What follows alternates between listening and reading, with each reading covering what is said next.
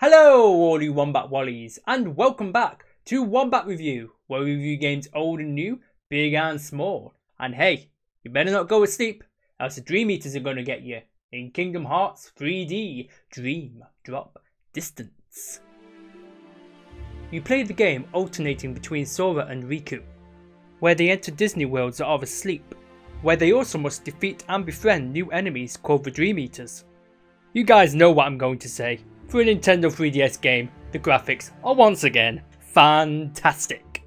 And the gameplay system is quite interesting in this game with the use of a flow motion mechanic. And you can also have up to 3 Dream Eaters fight alongside you.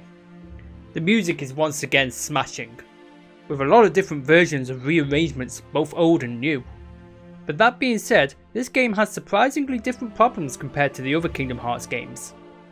What I don't like about this game is, in my opinion, the story is one of the weakest ones in the Kingdom Hearts series, but it is still important. And in truth, I'm not a big fan of the drop mechanic. Well yes, I could automatically stop playing as Sora and switch with Riku. Having a time limit to play as one character then swap to another doesn't feel right to me with a Kingdom Hearts game. And while you don't necessarily have to play this game, it does explain quite a lot of what happens between Kingdom Hearts 2 and 3. So I'm going to give this game an 8 out of 10.